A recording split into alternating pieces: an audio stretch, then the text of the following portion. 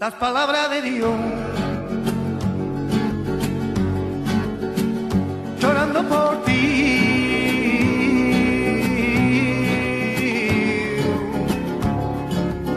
Es un amor. Un amor. Un amor.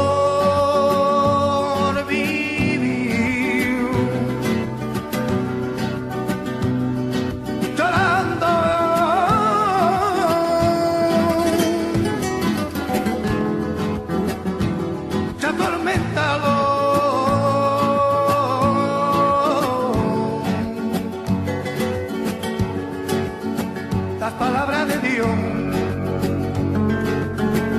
llorando por